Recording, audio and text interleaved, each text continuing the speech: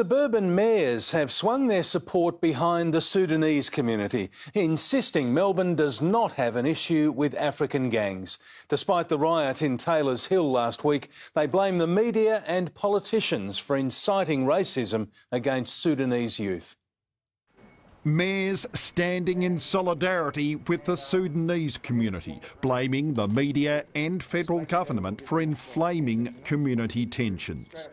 Many Victorians feel unsafe simply because they're told to feel unsafe. Drop the fear mongering and the cowardly antics that have been employed uh, in this climate. With riots in Taylor's Hill last week, in St Kilda last December, young Sudanese are grossly overrepresented in crime statistics, but they claim to be victims too of dangerous racism.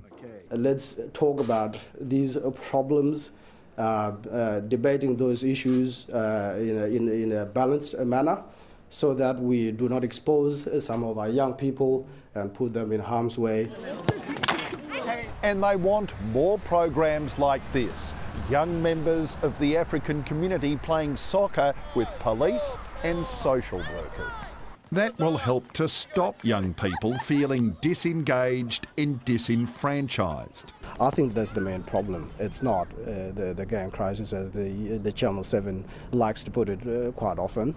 The mayors say in their communities the fear of domestic violence is far greater than the fear of African violence. At least one woman is killed a week. That's real fear. the other kind of fear, I don't see that.